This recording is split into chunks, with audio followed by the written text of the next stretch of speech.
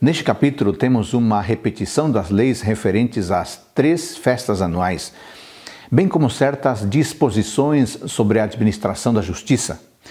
E o capítulo termina com uma advertência solene contra o culto idólatra. As festas sagradas eram geralmente designadas para estes propósitos.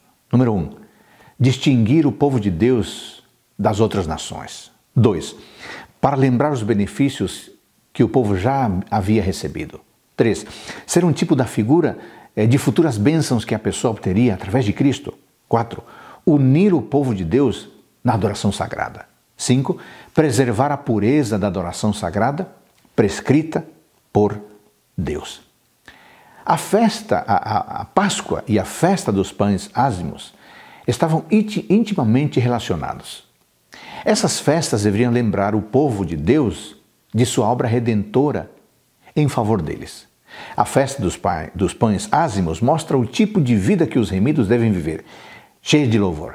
Segundo a tua bênção, a bênção que o Senhor teu Deus te deu, diz o versículo 17.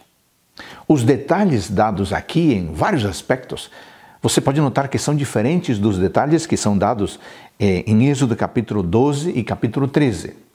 Por exemplo, o que poderia ser oferecido e onde poderia ser oferecido são diferentes em cada passagem.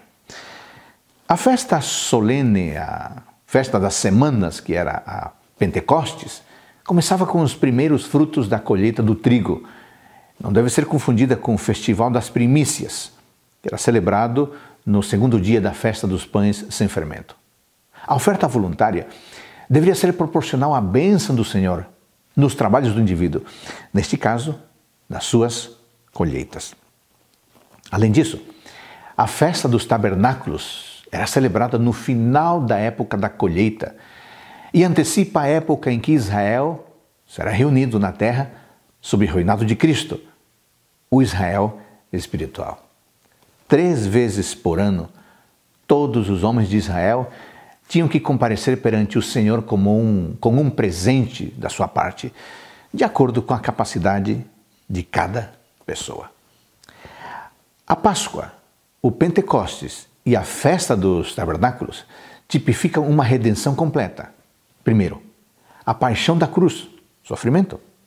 Segundo, a vinda do Espírito Santo, graça. Terceiro, o último triunfo do Rei que virá, a glória.